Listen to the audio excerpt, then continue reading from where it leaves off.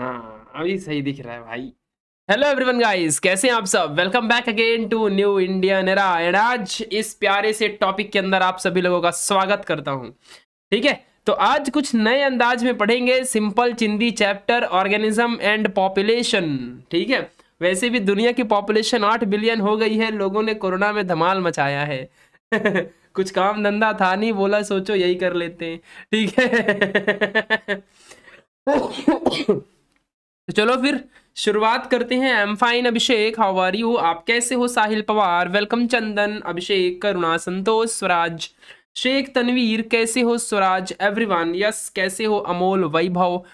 चलो yes welcome back again good evening Vibhakar Joshi Singh yes sir all clear that wow great बहुत बढ़िया।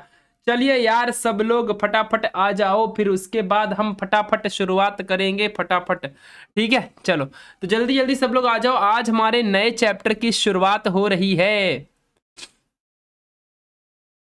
सब कह रहे नाक से क्यों बोल रहे हो? अरे, नाक से नहीं बोल रहा हूँ यार। नाक में कुछ है, इसलिए बोल रहा हूँ। ठीक है? नहीं, कुछ नहीं है। तबीयत ठीक है, ठीक नहीं भी रहेगी तो भी लेक्चर लूँगा मैं। ऐसी कोई बात नहीं है। बस आप सब लोग जल्दी से आ जाओ, फिर इसके बाद स्टार्ट करते हैं। कहाँ गया सी टाइप का केबल एक मिनट हाँ।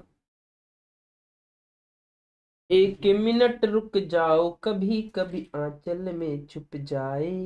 अय हाय। एक तरफ़ लिख कभी कभी आंचल में छुप जाए। आए हाय। एक मिनट रुक जाओ। किधर गया यार? सी टाइप का तो है ये। लाइटनिंग केबल का बहुत लफड़ा है। पट पट पट पट पट पट पट पट लफड़ा हो। चलो इसी से काम चलाना पड़ेगा। सब लफड़ा हो गई लवाही। इससे काम नहीं बनेगा लग रहा है।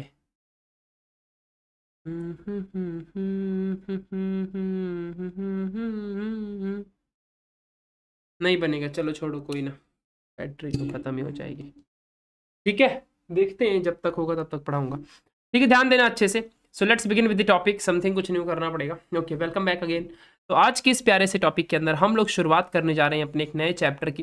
तो आज का चैप्टर बहुत ही मज़ेदार और अच्छा है। इसमें नई चीज़ें पढ़ोगे कोई कॉन्सेप्ट नहीं है थियरी है रट्टा मारा टॉपिक है।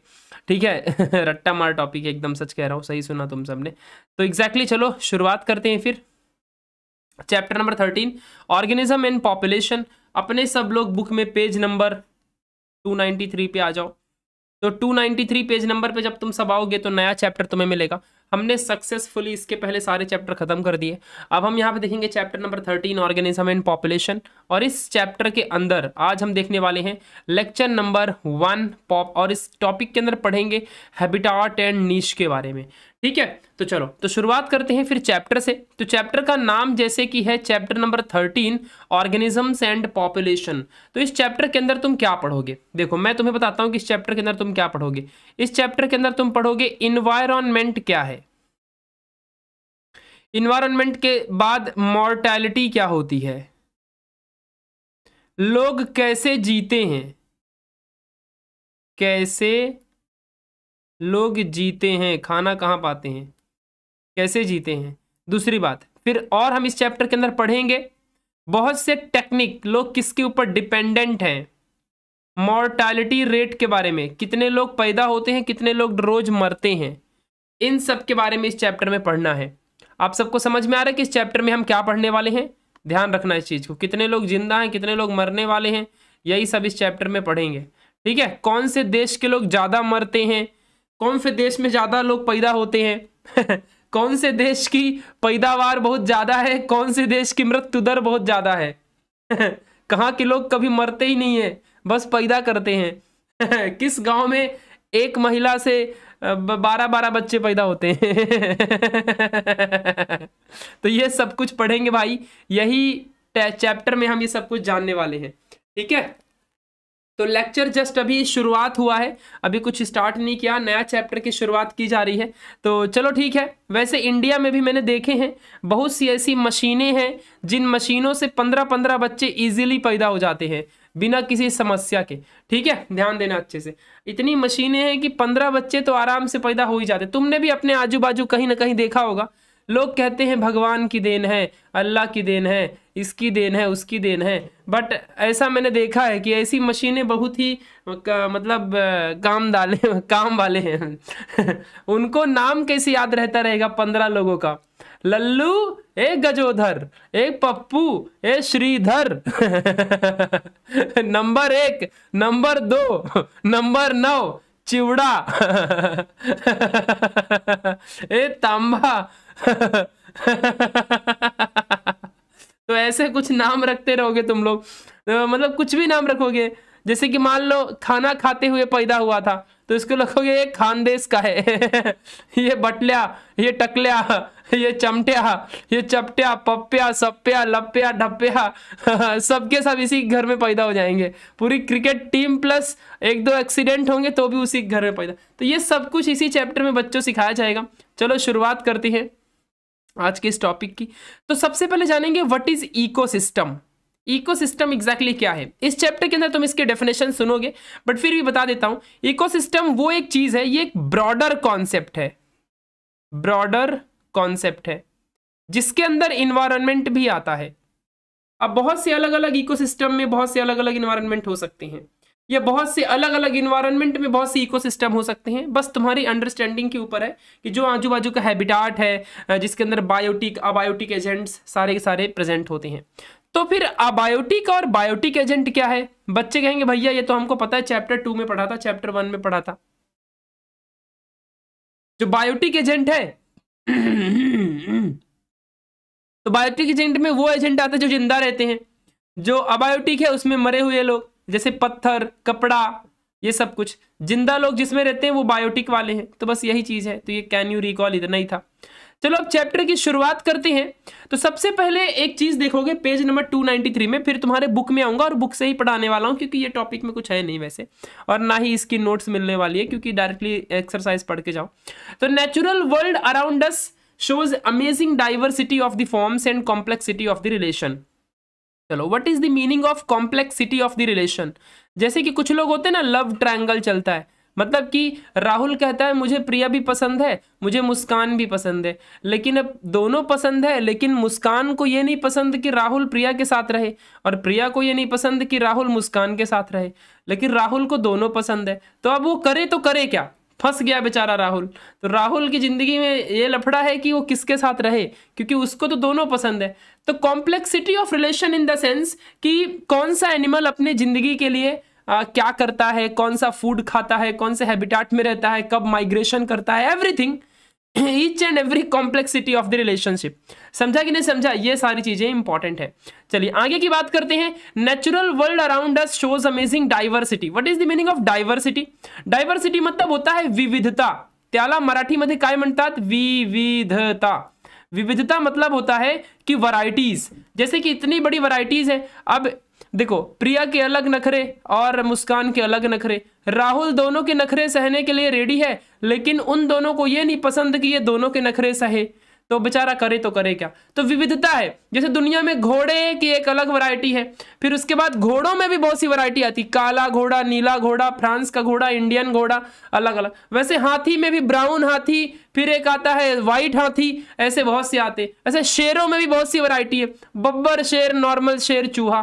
तो ऐसे अलग अलग मतलब स्पेसीज दुनिया में है। इसे कहते हैं विविधता डाइवर्सिटी समझ रहा है? वाइल्ड एलिफेंट जिसको बड़े बड़े दांत होते हैं। तो ये सारी कुछ रिलेशनशिप और तो और उनकी विविधताएँ बहुत ज़रूरी है। To understand these we have to study levels of organisation in the living world living world chapter number one class eleventh में आपने पढ़ा था, जिसके अंदर हमने macromolecule what is the macromolecule macromolecule मतलब प्रोटीन होता है, फिर कोई भी कार्बोहाइड्रेट जैसे glucose galactose lactose maltose sucrose है ना ऐसे ऐसे तो बुलडोजर ऐसे cells tissues organs individual organisms फिर पॉपुलेशन उससे बनती है कम्युनिटी इकोसिस्टम देन बायोम्स तो कितना प्यारा सा लाइन से सब लिख रखा है ना बच्चों। आ जाओ तुमको पूरा समझा देता हूँ कि ये क्या चीज़ है। देखो बच्चों, क्या होता है? दुनिया में सबसे पहला सेल कहाँ से आया था? तो वो प्रोटीन से बना था। प्रोटीन से बना था, जिसे हम मैक्रोमोलिक्यूल कहते हैं। तो मैक्रोमोलिक्यूल से सेल बना। सेल से बना टिश्यू टिश्यू से बना ऑर्गन। ऑर्गन से बना पूरा इंडिविजुअल ऑर्गेनिज्म जो इंसान है। फिर ऐसे बहुत सारे ऑर्गेनिज्म आ गए तो इससे बना पॉपुलेशन। इससे बना पॉपुलेशन। और पॉपुलेशन को मिला के बना इको कम्युनिटी कम्युनिटी से बना इकोसिस्टम इकोसिस्टम से बना बायोम्स तो आ जाओ वापस से एक बार समझा देता हूँ, ये चीज़ थोड़ा समझ आएगी तो सबको समझ जाएगा। देखो छोटे छोटे प्रोटीन के मॉलिक्यूल्स या न्यूक्लिक एसिड से बनते हैं सेल सेल से बनते हैं टिश्यू, जिसे हम कहते हैं लेयर। इन्हीं लेयरों से बनते हैं हमारे ऑर्गन जैसे लीवर, हार्ट, ब्रेन, ये सब कुछ। ऑर्गन से बनता है इंडिविजुअल ऑर्गन चैप्टर नाइन्थ में ये सब पढ़ा था। इंडिविजुअल ऑर्गन ऑर्गन से बनते हैं पॉपुलेशन अब बहुत से ऑर्गन से ऑर्गेनिज्म बनेंगे ना, बहुत से इंसान आ गए। अब ऐसे बहुत सारे इंसान आएँगे तो वो पॉपुलेशन कहलाएगी। इंसानों की पॉपुलेशन है, ये हाथी की पॉपुलेशन है, ये गधे की पॉपुलेशन है, ये प्रिया की पॉपुलेशन है ये आंटी की पॉपुलेशन है। तो ये ऐसी बहुत सी पॉपुलेशन बन जाती है। समझा कि नहीं समझा? अब ऐसी बहुत सी पॉपुलेशन है, उससे कम्युनिटी बनेगी। जैसे कि अब कम्युनिटी हिंदू की कम्युनिटी मोमेडियन की कम्युनिटी अमेरिका की कम्युनिटी इंडिया की कम्युनिटी चाइना की कम्युनिटी ऐसी कम्युनिटी बन गई बहुत से पॉपुलेशन मिला के। अब अलग अलग कम्युनिटीज अलग अलग इकोसिस्टम में रहते हैं। जैसे साउथ इंडियन जल्दी नॉर्थ इंडिया के पानी को उसको अच्छा नहीं लगेगा। बट हम इंडियंस तो थोड़ा सा वैरायटी बहुत है। अब इंडियन बंदा अचानक से अमेरिका की इकोसिस्टम में चला जाएगा तो शायद वहाँ बीमार पड़ जाए। तो कुछ भी हो सकता है। और ये बहुत सारे इकोसिस्टम बायोम्स होते हैं। बायोम्स क्या है? पूरा का पूरा अर्थ तो इस बात को ध्यान रखना। क्लियर हो गई बातें? हाँ हाँ चलेगा सबा, चलेगा चलेगा। तो बायोम क्या है? आ जाओ, अब यही चीज़ तुम्हें बताऊँगा। तो ध्यान देना जरा अच्छे से। बायोम की डेफिनेशन यहाँ लिखी हुई है। मैं आ जाओ थोड़ा सा आपको, मैं थोड़ा ऊपर हो जाता हूँ, सीधा बायोम बताता हूँ क्या है। तो biome constitutes a large regional terrestrial unit delimited by a specific climate zone having major vegetation zone, plant communities, and the associated fauna मतलब एनिमल्स तो अब जरा यहाँ पे समझना अच्छे से कि ये what is the meaning of biome biome एक छोटा सा एरिया नहीं है, ये बहुत बड़ा एरिया जहाँ पे बहुत सारी कम्युनिटीज रहती हो। जैसे कि अब अगर तुम इंग्लैंड में चले जाओ तो वहाँ बहुत ठंडी होती है। तो ठंडियों वाली एकदम जो पूरा एरिया है, ठंडियों वाला जो पूरा इकोसिस्टम है, उस इकोसिस्टम में रहने वाले लोग उस बायोम के लोग कहलाएँगे। अब एक सिंगल बायोम के अंदर बहुत से इकोसिस्टम हो सकते हैं। जैसे कि अगर नॉर्थ इंडिया में इस वक्त चले जाओ भैया तो इतनी होती है कि क्या बताओ लेकिन इधर मुंबई में आ जाओ तो ठंडी नहीं है। देखो, मैं कुछ भी नहीं पहना हूँ। देखो, कोई कपड़ा नहीं पहना एसी चला के रखा हूँ। कोई कपड़ा नहीं पहना है मैंने। मैंने एसी चालू रख, कर रखा है। तो देखो, कुछ है ही नहीं। ठंडी नाम की चीज़ नहीं है। लेकिन इधर वही, अभी इसी वक्त मेरा भाई गाँव गया है। बोलता है, भैया तीन तीन स्वेटर पहना हूँ बहुत लफड़ा है। नहाऊँगा नहीं, पानी से दुश्मनी हो गई मेरी तीन महीने के लिए। तो ये लफड़ा है। तो इंडिया के अंदर ही बहुत सी ऐसी इकोसिस्टम है। तो ऐसे डिफरेंट डिफरेंट इकोसिस्टम्स को मिला के एक बड़ा सा बायोम्स बनता है। अब ज़रूरी नहीं है कि इस इकोसिस्टम में सिर्फ़ एनिमल ही होंगे या हम इंसान ही होंगे। प्लांट की भी तो कम्युनिटी होती है। तो अब देखो, ठंडी वाले मौसम में अलग प्लांट होते हैं। गर्मी के मौसम में अलग प्लांट होते हैं। बच्चों, तुमने कभी सुना है कि गर्मी के मौसम में तुम गेहूँ की खेती करोगे?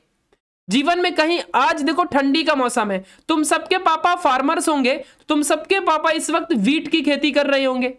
गेहूँ की खेती कर रहे हैं कि नहीं कर रहे? इस वक्त चावल नहीं उगा उगा रहे होंगे, पक्का कह रहा हूँ। इस वक्त पक्का गेहूँ की खेती हो रही होगी। गेहूँ की खेती या फिर मक्के की खेती होगी। जो भी होगा तो ये सबकी खेतियाँ हो रही। ज़्यादा मतलब मैं जिस पर्टिकुलर चीज़ की बात कर रहा हूँ, इस वक्त तुम चावल की खेती नहीं देखोगे। मोस्टली। चावल की खेती का टाइम हो गया। समझा? तो ये अलग अलग सिचुएशन में अलग अलग प्लांट्स अलग अलग कंडीशंस में अलग अलग पूरा एग्जैक्टली टेरेस्ट्रियल यूनिट जैसे पूरा अमेरिका एक पूरा अलग यूनिट है, वहाँ का बायोम अलग है।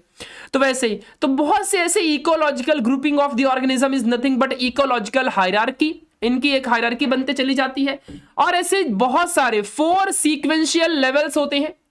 ऐसे बहुत से सीक्वेंशियल जो लेवल्स हैं, ये धीरे धीरे इनकी कॉम्प्लेक्सिटी बढ़ते जाती है और छोटे छोटे ऑर्गेनिज्म से पॉपुलेशन बनते हैं पॉपुलेशन से कम्युनिटीज और कम्युनिटीज बहुत सारे मिला के बायोम्स बनाते हैं। इंडिविजुअल क्या होता है? इंडिविजुअल एक ऑर्गेनिज्म है जो एक बेसिक यूनिट होता है किसी भी इकोलॉजिकल हायरार्की का। मतलब अगर मान लो कोई एक इंसान ही नहीं होगा तो पॉपुलेशन कैसे होगी? नहीं होगा। तो अब ऑर्गेनिज्म क्या है? तो ऑर्गेनिज्म एक इनहेबिटिंग जियोग्राफिकल एरिया को कंस्टिट्यूट करते हैं। बहुत से ऐसे इंडिविजुअल ऑर्गेनिजम्स एक साथ मिल करके किसी एक जोग्राफिकल एरिया मतलब एक किसी लैंड में रहना शुरू करते हैं। तो उसे हम कहेंगे पॉपुलेशन कि पुणे की पॉपुलेशन इतनी है, मुंबई की पॉपुलेशन इतनी है। नागपुर की पॉपुलेशन इतनी है तो हर जगह, हर एक एरिया में एक बहुत सी जब इंडिविजुअल रहना शुरू कर देते हैं तो उस एरिया में एक पॉपुलेशन बन जाता है। वो सारे लोगों को एक साथ हम पॉपुलेशन कहते हैं।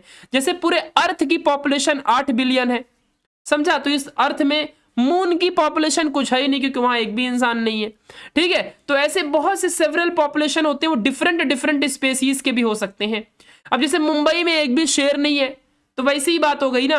तो पुणे में शेर होगा तो उधर शेर रहेगा। लोनावला में शेर रहेगा, उधर शेर रहेगा।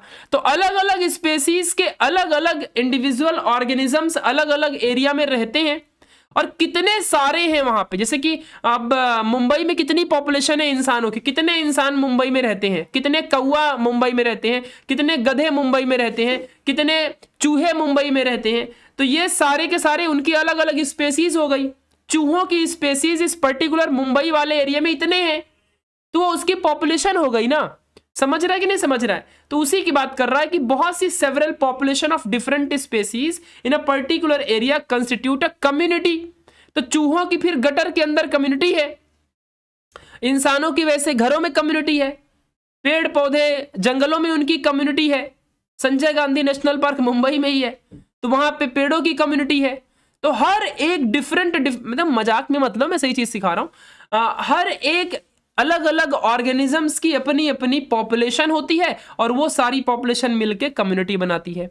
समझ गया अच्छे से? बाकी तो तुम्हें बायोम्स का मतलब मालूम ही है। तो चलो फिर बच्चों, अब आ जाते हैं अपनी टेक्स्ट बुक में और टेक्स्ट बुक के थ्रू अब हम चीज़ों की पढ़ाई करना शुरू करेंगे। ठीक है तो मैं कर देता हूँ इसको गायब और ये हमारे सामने तुम्हारी टेक्स्ट बुक आ गई। ठीक है, तुम्हारे सामने टेक्स्ट बुक दिख रही सब बच्चों को?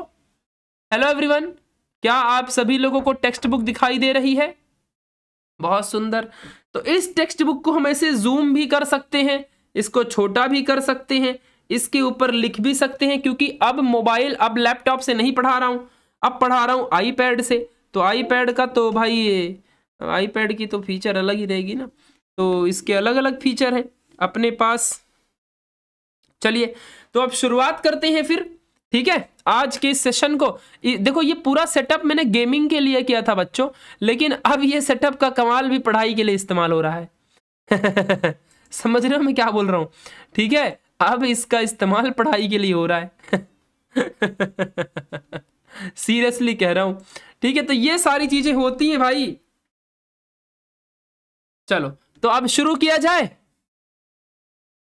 तो फोना मतलब क्या होता है? एक लड़की बार बार पूछ रही है, फोना क्या है? फोना फोना। एफ़ ए यहाँ लिख के दिखाता हूँ। चलो, देखो। तो फोना का मतलब पूछ रही है। तो फोना का मतलब होता है कि बहुत सारे एनिमल का एक ग्रुप उस पूरे एरिया को फोना कहते हैं। फ्लोरा मतलब होता है बहुत सारे प्लांट्स। का ग्रुप चलो अब शुरुआत करते हैं। तो अब चलो हम शुरू करेंगे ऑर्गेनिज्म एंड पॉपुलेशन के इस चैप्टर को। और ये बहुत ही चिंदी और बहुत ही आसान चैप्टर है। लेक्चर को फटाफट सब बच्चे लाइक कर दो और चलो उसके साथ हम शुरुआत करते हैं। ठीक है? लेट्स बिगिन शुरू किया जाए। चलो। तो एक मिनट एक तरफ़ दिखलाए कभी कभी आंचल में छुप जाए। हाय। अरे देख के तुझको, मुझको ये चैन होता है। देखो यहाँ पे। चलो तो पेज नंबर 293 अब सब लोग ध्यान देना तो सबसे पहले देखो यहाँ पे बायोम्स क्या है। बायोम्स देखो यहाँ पे क्या लिखा हुआ है। तो जरा ध्यान से चीज़ों को समझते चलना। एक मिनट भाई, ये छोटा कैसे हो गया? ओके। तो बायोम क्या होता है? चलो, अब चीज़ों को ध्यान देते हैं। आई थिंक ये इसको मैं ये कर पा रहा हूँ ना? हाँ चलो, मैं इसको हाईलाइट कर पा रहा हूँ। ध्यान देना अच्छे से। प्लीज़ लिशन लिशन केयरफुली तो बायोम एग्जैक्टली क्या चीज़ है? Biome constitute a large regional terrestrial unit delimited by a specific climate zone, having a major vegetation zone like plant communities and associated fauna. मतलब कि एक ऐसा बहुत सारा टेरेस्ट्रियल एरिया टेरेस्ट्रियल मतलब होता है लैंड तो एक ऐसा टेरेस्ट्रियल एरिया जहाँ पर, ध्यान देना सभी लोग, अब मैं लाइन टू लाइन पढ़ाऊँगा, चीज़ें बहुत इंपॉर्टेंट है, क्योंकि ये चैप्टर बहुत ही इजी है। मैं चाहता हूँ कि इसको थोड़ा अच्छे से समझाते हैं लाइन टू लाइन अच्छे से, क्योंकि इसमें कोई कॉन्सेप्ट नहीं है, पूरा जनरल नॉलेज है। पूरे इस चैप्टर में जनरल नॉलेज है। इसके आने वाले तीनों चैप्टर सब जनरल नॉलेज के हैं। तो ध्यान दो, बस सुनो, सुनने में ध्यान दो और अपने बाजू में टेक्स्ट बुक ओपन कर लो बस। मोबाइल बाजू में रखने का टेक्स्ट बुक ओपन करने का और लाइव लेक्चर में ही इन तीनों चैप्टर को खत्म कर दो। ज़्यादा दिमाग लगाने की ज़रूरत नहीं रहेगी। लाइव लेक्चर में ही थर्टींथ फोर्टींथ और फिफ्टींथ चैप्टर को खत्म कर दो। ज़्यादा सोचने की ज़रूरत नहीं पड़ेगी। बाद में पढ़ाई भी नहीं करनी पड़ेगी। अभी पढ़ लो ना, क्योंकि चिंदी चैप्टर है, इसलिए कह रहा हूँ। ठीक है? तो कोई भी मस्ती अब नहीं करेगा। कमेंट बॉक्स में ज़्यादा धर्म बिर्म मत बताओ। पढ़ाई में ध्यान दो। क्योंकि रोटी तभी मिलेगी जब ज्ञान होगा। समझ रहा? है भगवान भी यही कहते हैं, चाहे किसी भी धर्म के रहे कि बेटा तू कर्म करेगा तभी तेरी भूख मिटेगी। तेरे को रोटी, चावल, दाल तभी मिलेगा खाने को, भूख तभी, खाना तभी मिलेगा जब तू खुद काम करके कमाएगा और खाएगा। तुझे मैं देने नहीं आने वाला हूँ, ना ही कोई और देगा। तू काम करेगा, तेरी मदद ज़रूर करूँगा। तो यहाँ पे ना किसी धर्म की बातें करो और ना ही किसी और चीज़ की पढ़ाई करो। यहाँ मैं तुम्हारे फ्यूचर और करियर बनाने आया हूँ, ना कि यहाँ दुनियादारी की पॉलिटिक्स करने। ठीक है? चलो, अब ध्यान दो। तो एसोसिएटेड ध्यान देना तो बायोम क्या है? समझ गया चीज़ों को अच्छे से, जो कि मैंने आपको बता दिया। क्लियर हो गई बातें? चलिए, अब हम बात करेंगे एक नए टॉपिक की। Organism and environment around us हमारे आजू बाजू जो ऑर्गेनिज्म है और हमारे आजू बाजू जो इन्वायरमेंट है, ये सारी चीज़ें बहुत ज़्यादा इंपॉर्टेंट है। Let's begin with the topic तो चलो समझते हैं कि क्या चीज़ें होती हैं। तो सबसे पहले हम ये जानेंगे कि भैया, ये इकोलॉजी क्या होती है? What is the meaning of this ecology ये इकोलॉजी एग्जैक्टली exactly है क्या चीज़? ठीक है? तो जरा ध्यान देना अच्छे से। इकोलॉजी मतलब इको मतलब इन्वायरमेंट लॉजी मतलब स्टडी मतलब इन्वायरमेंट की स्टडी तो ecology at the level of organism is basically the study of animals और plants physiology which help us to understand how the organisms are adopted to their environment तो exactly exactly ecology क्या है? बताओ. Ecology ये चीज़ है कि जो भी इन्वायरमेंट है और उस इन्वायरमेंट में रहने वाले फ्लोरा एंड फोना यानी कि एनिमल और प्लांट किस तरीके से उन्होंने खुद को अडॉप्ट कर लिया? जैसे कि मान लो मैं मुंबई में रहता हूँ तो मैं मुंबई के क्लाइमेट को कैसे अडॉप्ट कर लिया? संजय गांधी नेशनल पार्क में पाए जाने वाले प्लांट उन्होंने इस यहाँ के एरिया को कैसे उन्होंने अडॉप्ट कर लिया? इन सब की स्टडी करना ही इकोलॉजी है। समझ गया अच्छे से? ध्यान देना। चलो। आगे बढ़ते हैं। यहाँ पर कुछ इंपॉर्टेंट चीज़ें दी गई हैं।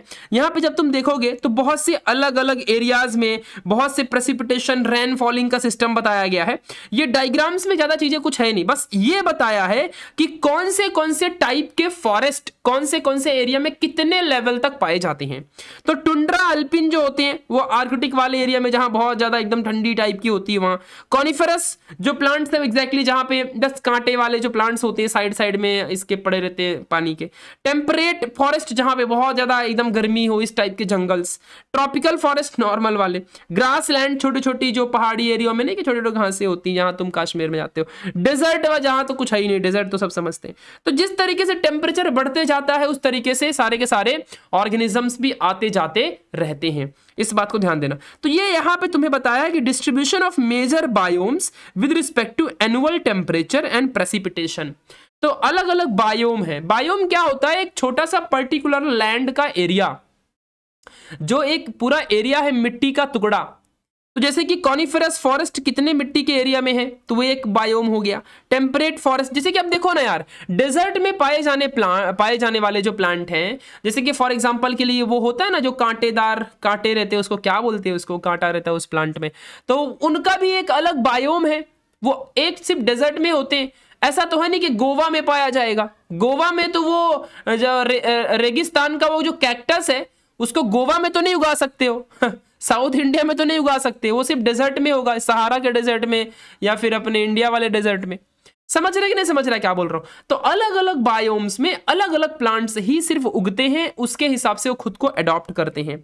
तो इस बात को ध्यान देना। बच्चों, अगर तुमको मैं अचानक से हिमालय में भेज दूँ तो तुम दो दिन में ही मर जाओगे ठंडी के चक्कर में। क्योंकि तुम, तुमने और तुम्हारे पेरेंट्स ने और उनके पेरेंट्स के पेरेंट्स ने तुम्हारी पीछे की तीन से चार जनरेशन ने किसी ने भी हिमालय जैसी ठंडी में रात नहीं गुजारी है। समझ रहा है? And this is the reason कि अब तुम्हारी हैबिट नहीं है। तुम उस क्लाइमेट में अगर अचानक से जाओगे, तुम्हारा बीमार पड़ना पक्का है। हंड्रेड परसेंट तुम बीमार पड़ जाओगे। इस चीज़ को ध्यान रखना। तो इसी तरीके से आगे बढ़ते हैं। You have studied in earlier classes about the rotation of earth around the sun हाँ हाँ पता है, ये तो बचपन से यही पढ़ते आ रहे साइंस के बच्चे हो कि हमको यहाँ बायोलॉजी में नौवीं का ज्ञान सिखा रहे हैं। ठीक है? तो अर्थ भैया सन के अराउंड घूमते ही हमको भी पता है। And the tilt of its axis cause seasons हाँ ये बात नहीं पता थी। सीजन्स क्यों आते हैं? क्योंकि जो हमारा अर्थ है, वो अपने एक्सिस में भी टिल्ट होता है। सिर्फ़ अर्थ के, सन के अराउंड ही नहीं घूमता, वो अपने एक्सिस में भी क्या होता है? टिल्टेड रहता है। सोफी कहता है, हेलो भाई, तुम कमेंट्स पढ़ते हो क्या? रिप्लाई करो। पढ़ता हूँ, लेकिन रिप्लाई नहीं करूँगा, क्योंकि पढ़ाने आया हूँ रिप्लाई करने नहीं। पढ़ना है तो ठीक है, वरना जय श्री राम। ठीक है, ध्यान दो, आगे बढ़ते हैं। तो चलो आगे बढ़े। तो its axis cause a season समझ गया? सीजन्स कैसे आते हैं? मतलब अलग अलग जैसे कि अब अर्थ घूमते रहता है तो फिर अलग अलग सिचुएशन में जो वायु होती है एयर होता है, वो घूमता है, वायुमंडल पूरा, वहाँ दुनिया भर का इन्वायरमेंटल सीजन्स होते हैं। ठंडी, गर्मी, बारिश का मौसम इस तरीके से आते रहता है। ठीक है हाँ एग्जैक्टली exactly झुका हुआ मतलब हल्का सा जस्ट चीज़ें झुकी हुई होती हैं, जिस चक्कर से सीजन्स बढ़ते रहते हैं, आगे पीछे तीन सीजन्स होते हैं। वैसे भी हर कंट्री में तीन ही सीज़न होते हैं। एक वसंत ऋतु भी है जो कुछ महीनों के लिए होती है तो वो, ठीक है बेसिकली तीन सीज़न ही माने जाते हैं। ठीक है, चलो, आगे बढ़ते हैं। कुछ कुछ कंट्रीज़ है जहाँ पे सिर्फ़ एक ही सीज़न रहती है जो ठंडी है। चौबीस घंटे बर्फ़ गिरती, नहाते नहीं वहाँ के लोग, इसलिए गोरे रहते हैं। चलो, ठीक है, आगे बढ़ते these season with the annual variation in precipitation in the form of rain and snow give gives rise to formation of major biomes of the earth like desert rain forest grassland tundra and all. तो यहाँ पे जो चीज़ें आपको दिख रही हैं season के वजह से। अब एंटार्किटा एंटार्क्टिका जो एरिया है तो इस एंटार्क्टिका वाले एरिया में अगर तुम चले जाओगे तो वहाँ पे पाया गया है कुछ अभी वहाँ पर भी ह्यूमन बींग्स रहते हैं आज के टाइम पे। ऐसा नहीं कि वहाँ पे पूरा खाली है। वहाँ पर भी कुछ अलग अलग टाइप के आ, मतलब ह्यूमन बींग्स वहाँ पे रहते हैं। Minus fifty degree Celsius temperature तक भी भाई जाता है भाई। और उतने डेंजरस टेम्परेचर में कैसे कोई ज़िंदा रह सकता है? बट स्टिल पीपल्स वहाँ पे रहते हैं और ज़िंदा भी हैं। तो वहाँ का एक अलग ही सिचुएशन हो गई। वहाँ तो प्लांट भी अलग है। वहाँ तो ऑक्सीजन मिलना बहुत मुश्किल है। पानी में का ऑक्सीजन चाट के मरोगे क्या? तो डेजर्ट अलग एरिया सहारा के रेगिस्तान अफ्रीका में चले जाओ। भाई, ले वाट लग जाएगी। वहाँ तो तुमको ना तो पेड़ पौधा ना पानी, ना कुछ नहीं मिलेगा। तो ये लफड़ा है। तो ये सारी चीज़ें आपको थोड़ी ध्यान रखनी है।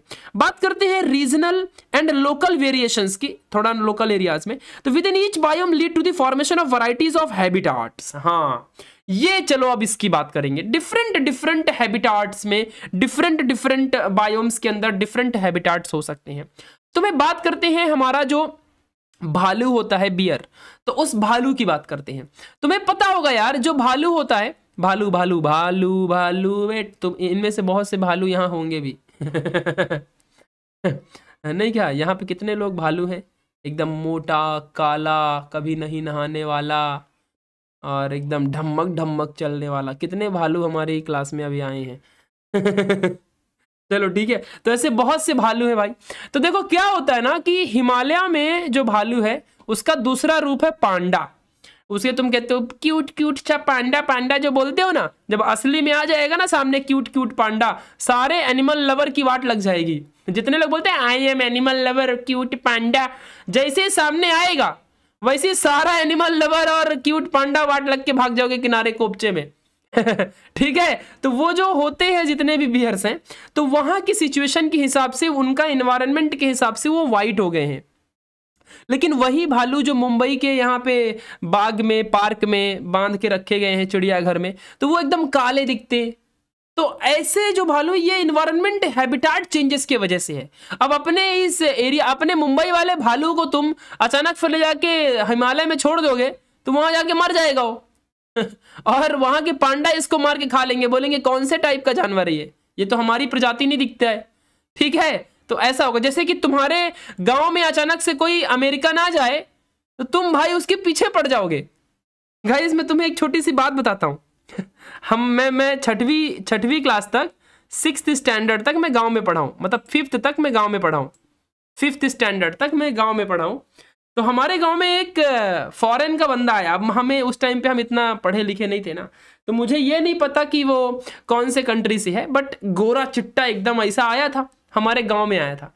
तो भाई, हम सब लड़कों से अलग दिखता था वो। हम अलग दिखते, वो अलग। हमको लगता था, ये कोई दूसरा कौन है ये? अब हमारे पास इतना नॉलेज नहीं था ना कि ये कौन है। भाई, हमारे पूरे दोस्त लोग, मैं खुद और हम सब करीबन पंद्रह से बीस लड़के सब उसके पीछे।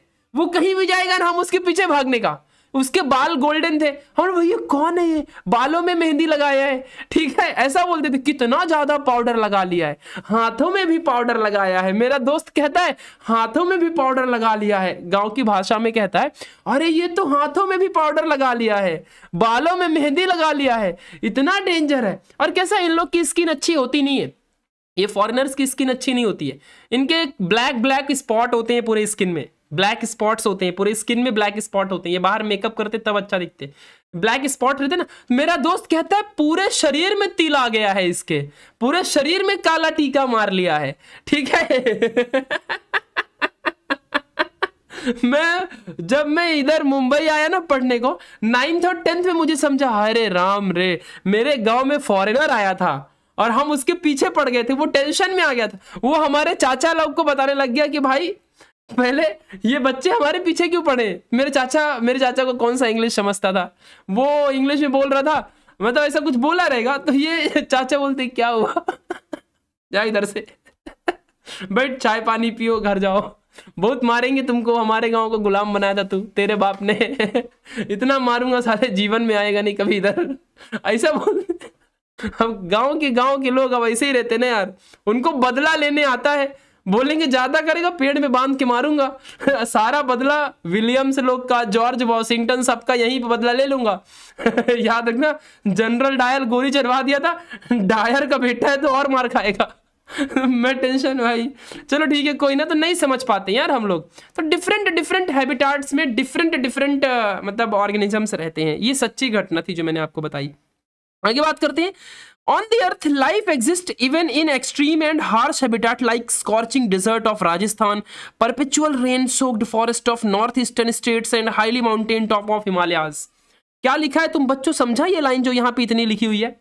वो ये कह रहा है कि दुनिया की सबसे डेंजर से डेंजर सिचुएशन में भी लिविंग ऑर्गेनिजम्स अपने आप को कैसे तो रख लेते हैं? जैसे कि राजस्थान के मरुस्थल में मतलब कि जो डेजर्ट है, वहाँ पर भी। हिमालय की इतनी डेंजरस ठंड में और ऐसे डेंजरस जहाँ पर कभी पानी ना मिले तुम्हें, ऐसे जंगल में में भी ऐसे लोग रह लेते हैं। समझ रहा ऐसे लोग वहाँ रहते हैं और अपने जीवन को चलाते हैं। ऐसे हैबिटाट में उन्होंने खुद को अडॉप्ट कर लिया है। ध्यान रखना।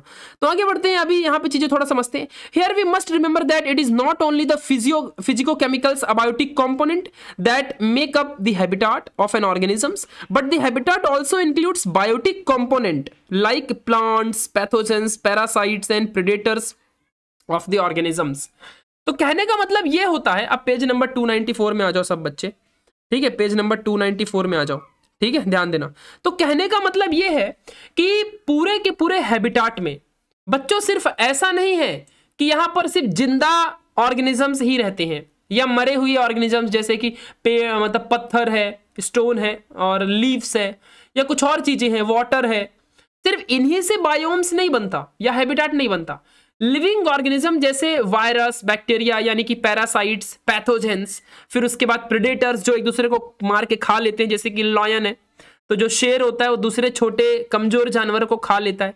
एक शेर कभी दूसरे शेर को खा पाता है। इतना चिल्लाते हो शेर जंगल का राजा है, वो शेर की भी फट जाती है। और हम इंसानों से तो शेर की भी फटती है। एक गोली मारेंगे आर पार हो जाएगी, मर जाएगा वहीं।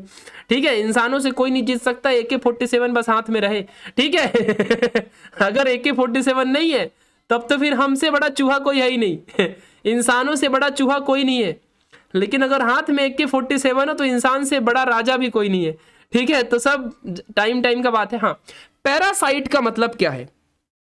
पैरासाइट्स मतलब जो दूसरों के ऊपर डिपेंडेंट, ऐसे लिविंग ऑर्गेनिज्म जो दूसरों के ऊपर डिपेंडेंट होते हैं फॉर देयर लाइफ।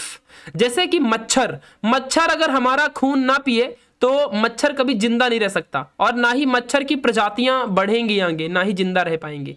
तो ये सारी की सारी चीज़ें होती हैं, ध्यान रखना अच्छे से। चलो, आगे की सारी चीज़ें ध्यान रखना। पीरियड ऑफ़ टाइम्स के साथ अलग अलग तरीके के हैबिटेट में रिप्रोडक्शन होता है और इससे अलग अलग रिप्रोडक्शन से लोग आगे बढ़ते हैं, उनकी पैदावार होती है। चलो, कुछ इंपॉर्टेंट टर्मिनोलॉजी पढ़ लेते हैं यार। ठीक है, चलो ध्यान देना सभी लोग अब। तो सबसे पहले पढ़ेंगे इथोलॉजी के बारे में। What is ethology the term was coined by hill hiller है हिलेयर हिलेयर ओके कैसे पढ़ोगे? प्रोनाउंसिएट हिलेयर मैं टेंशन में आ गया, क्या लिखा ये? Hilaire okay again repeat with me Hilaire okay in 1854 but was popular popularised by W M Wheeler ठीक है? ध्यान समझा अच्छे से? That them denotes speaks for the study of behaviour of animals क्या बात है? इंसानों का बिहेवियर नहीं समझा एनिमल का behaviour in relation to their environment तो देखो, ये चीज़ जो एग्जैक्टली exactly समझने की बात है, चलो आज तुम्हें समझाता हूँ। ऑप्टिमाइज का मतलब होता है चैतु कि किसी को तुम ज़्यादा उसे रिवोल्यूशनाइज कर दो। मतलब कि उसको एकदम थोड़ा सा डिफरेंट तरीके से उसको स्टार्ट दे दो इनिशियल थ्रस्ट दे दो। ठीक है, चलो बात करते हैं बिहेवियर ऑफ़ एनिमल्स उनके इन्वायरमेंट के हिसाब से। अब देखो बच्चों, जैसे कि ये बाहर की विदेशी लोग चौबीसों घंटे कोट पैंट क्यों पहनते हैं? नहीं पहनेंगे तो जो ये हिलेयर जी बता रहे हैं, ये उसके लायक भी नहीं बचेंगे। क्यों? क्योंकि इतनी ठंडी होती है, ज़िंदा नहीं बचेंगे। महीने में, पूरे साल भर में छह महीने ये बाहर के लोग नहाते नहीं है। चौबीस घंटे कोट पैंट, शर्ट, टोपी पहनते हैं। हम इंडियन लोग इनका कॉपी करके शादी में कोट पैंट पहनने लग गए। हम ये भूल गए कि ये विदेशी लोग जानबूझ के पहनते, नहीं पहनेंगे, मर जाएँगे। लेकिन हम इंडियन लोग, उनका कॉपी करके उन, हमको लगता है ये स्टाइल है। अरे कहे का स्टाइल हम लोग शादी में पहनने लग गए। इतने येड़े लोग हैं ना मतलब हमको कोई समझा नहीं सकता।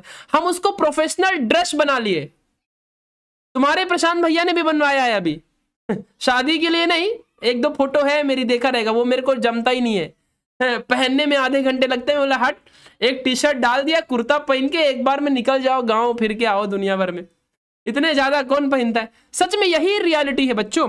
तो behaviour of animals with the help of their environment अब अमेरिकन जो होते हैं और ऑस्ट्रेलिया के लोग जो होते हैं, सबसे ज़्यादा पूरी दुनिया में जो हाइट है वो ऑस्ट्रेलिया के लोगों की है, फिर अफ्रीका के लोगों की है, फिर अमेरिकन की, फिर इंडियंस की। इंडियंस की एवरेज हाइट 5.7 या 5.8 है मेल की हाइट फीमेल की हाइट एवरेज 5.1 या 4.7 के रेंज में होती है। ठीक है लेकिन ऑस्ट्रेलियंस बहुत ज़्यादा हाइटेड होते हैं। क्यों? क्योंकि उनके इन्वायरमेंट के हिसाब से उनकी जो जेनेटिक मेकअप है वो डिफरेंट हो चुका है। तो बिहेवियर ऑफ़ जो एनिमल्स है आ, कोई भी अगर एनिमल है या जैसे शेर चीता भालू जो भी होंगे इनका अलग ही अब जर्मनी का कुत्ता अलग ही कुत्ता होता है। अब उसको अच्छा मत समझो। हमारे इंडियन के गली कुत्ते को खाना नहीं मिलता, इसलिए वैसा सुकड़ा दिखता है। तुम्हारे एरिया में आएगा, तुम भी मार के भगा देते हो। और जर्मनी के लोग उस कुत्ते को खाना, पीना सब देते हैं, इसके लिए भालू जैफा दिखता है। बाकी फ़र्क कुछ नहीं है बच्चों। फ़र्क इतना है कि वो लोग प्यार करते हैं कुत्ते से भी।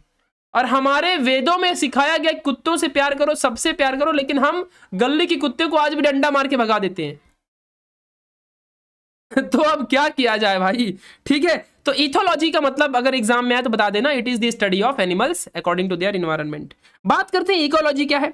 तो the term was introduced by the Haeckel and for the relationship of animals and plants with their surroundings मतलब कि जो एनिमल्स हैं और जो प्लांट्स हैं, इन दोनों के बीच का रिलेशनशिप फॉर एग्ज़ाम्पल अगर प्लांट मर गए तो हम भी मर जाएँगे। अगर हम मर गए तो प्लांट मर जाएँगे। तो प्लांट इन्वायरमेंट और इकोसिस्टम का जो रिलेशनशिप है ये सारी चीज़ें आपको ध्यान रखनी है। बायोनॉमिक्स का मतलब क्या है? लैंकेस्टर कहते हैं कि this term is totally related to the study of relation between organism to their environment अब जैसे कि मैं मुंबई में, ये कौन है शुभम? ये शुभम देख रहे हो कौन सा फिंगर दिखा रहा है? कल ये डॉक्टर के पास गया था शुभम। क्या हुआ? कि इसके, ये जो शुभम है जो ये फिंगर दिखा रहा है, तुम लोग समझ रहे हो? रुको, मैं कुछ बताता हूँ। इसकी एक सीक्रेट बात बताता हूँ। कोई नहीं जानता रहेगा, कसम से कह रहा हूँ। जो फिंगर दिखा के बोल रहा ना, भैया इंपॉर्टेंट दो। तो क्या हुआ? कल ये डॉक्टर के पास गया। क्यों? इसके कहीं तो एक मच्छर घुस गया था। बहुत अंदर तक घुस गया था ना। तो डॉक्टर कहता है, मेरे पास ऐसा कोई डिवाइस नहीं बेटा, कि जो तेरा ये मच्छर वहाँ से निकाल सकूँ। तो शुभम को कहता है कि अपने उंगलियों का इस्तेमाल करो। तो पहले ये उंगली का इस्तेमाल करता है, पहली वाली फ़र्स्ट फिंगर तो वहाँ तक नहीं पहुँच पाया, जहाँ तक मच्छर था। फिर उसके बाद जो फिंगर ये दिखा रहा है, वो फिंगर का इस्तेमाल किया। जब उस फिंगर का इस्तेमाल किया तो मच्छर मिल गया। तो मच्छर को खींच के बाहर लेके आया। लेकिन उस फिंगर में क्या हो गया बहुत लफड़ा हो गया। मतलब गंदगी लग गई, ये है, वो है, बहुत कुछ हो गया। तो अब खाना नहीं खा सकता। तो वो फिंगर इतनी ज़्यादा टाइट हो गई कि अब ऐसा ही करके घूम रहा है, जैसा दिखा रहा है। तो कहीं भी जाता है तो जय घंटा बाबा की। वही लेके चल रहा है। तो हमारा नेता कैसा हो? शुभम के जैसा हो। ठीक है, ऐसी हालत इसकी हो चुकी है। तो मैं वही कह रहा हूँ कि बेटा थोड़ा संभल के आया करो, क्योंकि यहाँ चालीस पचास साल के टीचर नहीं बैठे हैं। तुम्हारे ही एज के टीचर हैं। ज़्यादा सान पट्टी दिखाओगे तो धो दिए जाओगे। ऐसे धो दिए जाओगे कि अगर ये वीडियो तुम्हारा दोस्त तुम्हारे को देख लेगा ना, तुम्हारे कॉलेज में यही वीडियो चलेगा।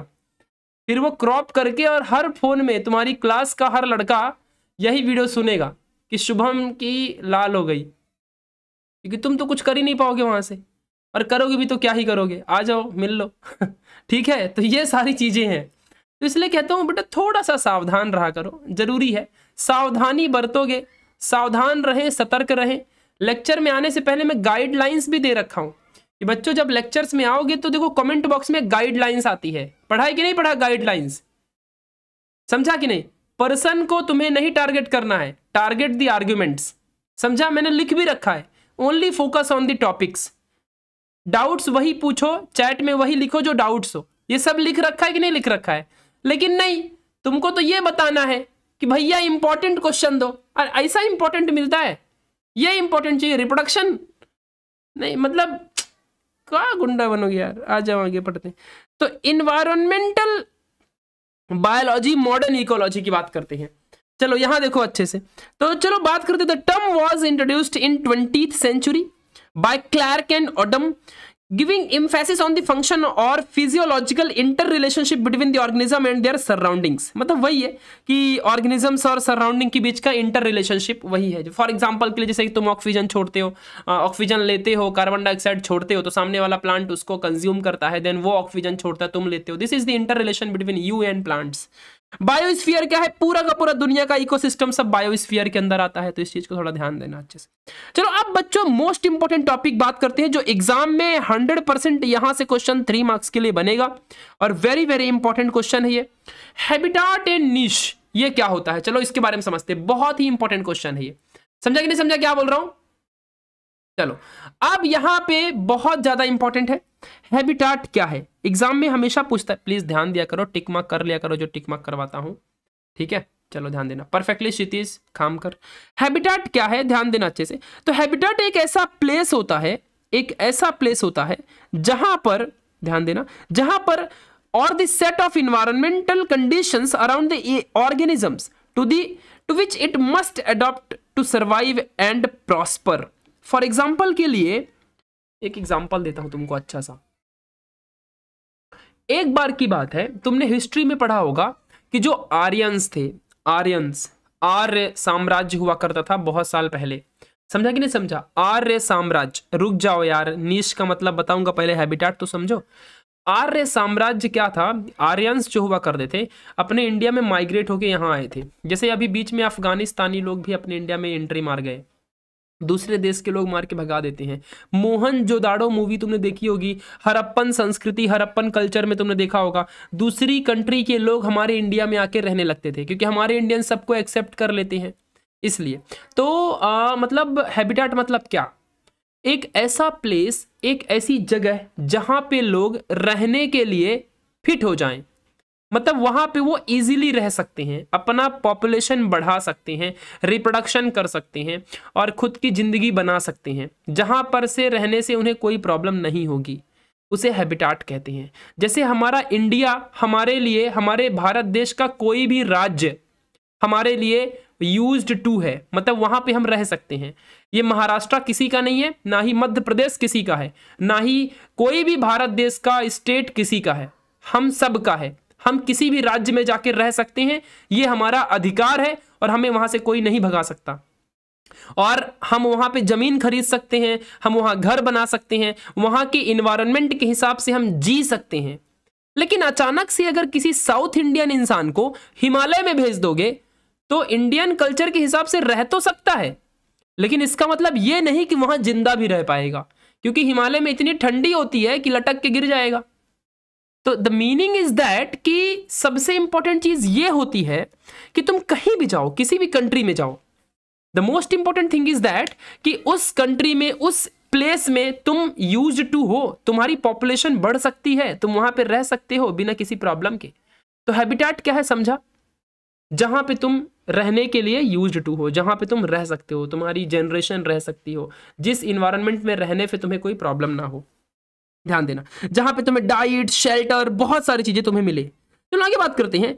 Habitat defines the physical space of an organism with the other living और non living factors while niche describes how that organism is linked with its physical and biological environment. कितना चिंदी चीज़ है ना? देखो नीश क्या है? वो एक पर्टिकुलर एरिया जैसे कि तुमको थोड़ा सा बिज़नेस एरिया से एक नीश का एग्जांपल देता हूँ। जैसे कि देखो, समझना। देखो यार when I was in twelfth standard तो मैं नीश को क्या पढ़ता था, जानते हो? नीचे। My ma'am was like what you are reading बोलती है मैडम, भाई, ये क्या है? नीचे? मैं बोलता हाँ मैम, नीचे। बोलती, नीचे क्या है? नीचे कुछ नहीं है। बोलती है नीचे बहुत स्कोप है।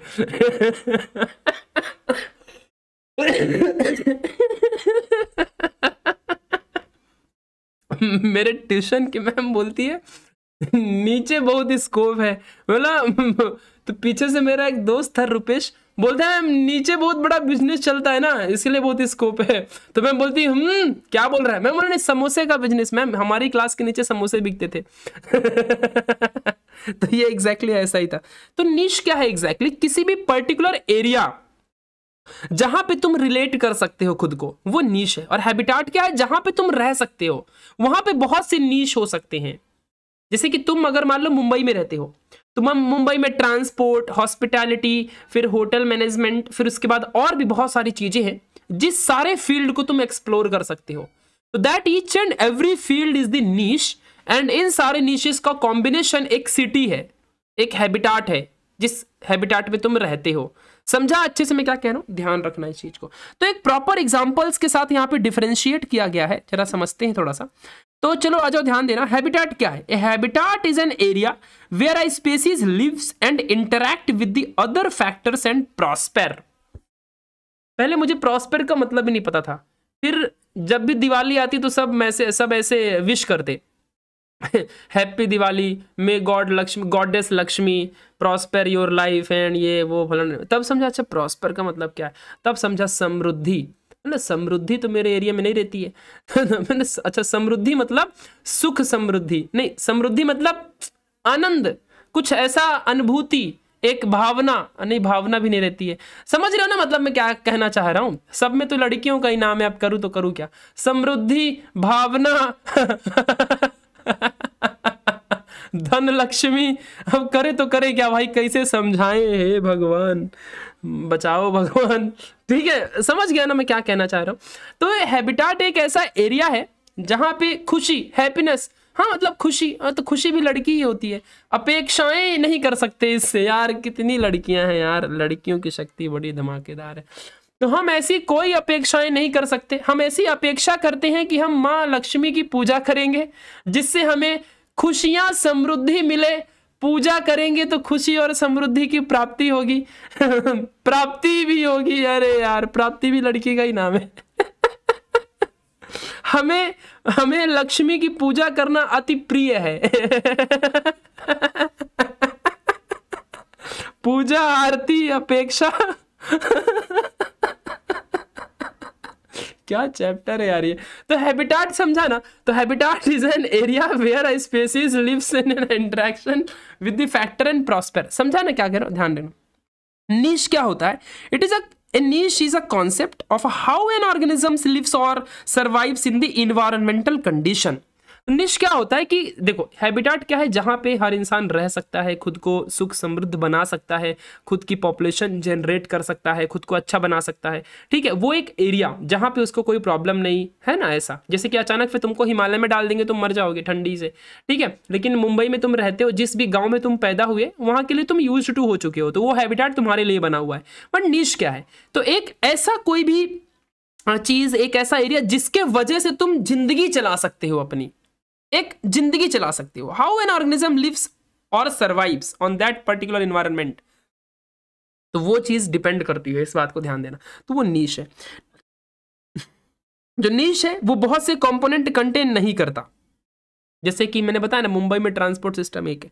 Habitat consist of numerous niches ध्यान देना। तो एक हैबिटाट में बहुत से नीशेस हो सकते हैं। Effect of temperature rainfall and other abiotic factors हमारे हैबिटाट का एग्जांपल है।